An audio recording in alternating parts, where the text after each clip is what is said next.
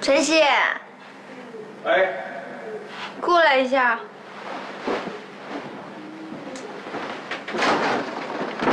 干嘛？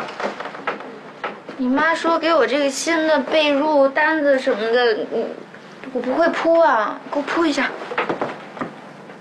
您自个儿睡觉的物件儿，您让我给您动手啊？我长这么大我就没铺过，你帮我铺一下，我学一下不行吗？哎呦天哪！天大的笑话！您是女孩吗？这儿都给你弄好了。一个女孩家的，说连自个儿铺盖都不会弄。哎呦我天哪，真行！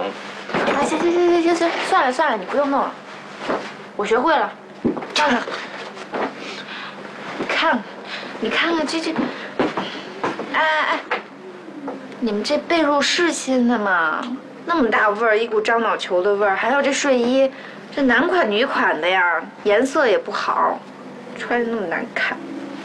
我们家没女儿啊，就算男款，这也不怪我们家人，对吧？所以麻烦您，您受受吧，啊，辛苦您了。当然了，如果您实在是瞧着这屋不顺眼呢，奶奶那屋挺合适的，地儿大，对不对？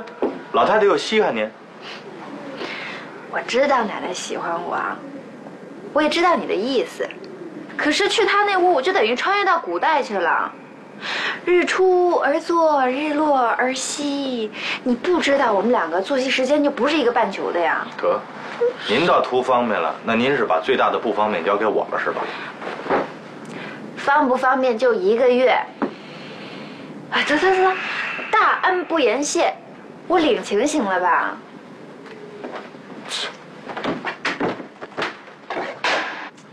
你又怎么了？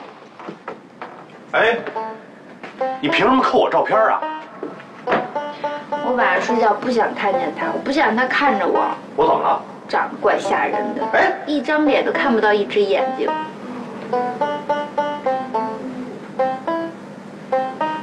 你太伤人了！我告诉你，你你你你你你要是再出幺蛾子的话，我照样把你扔大街上。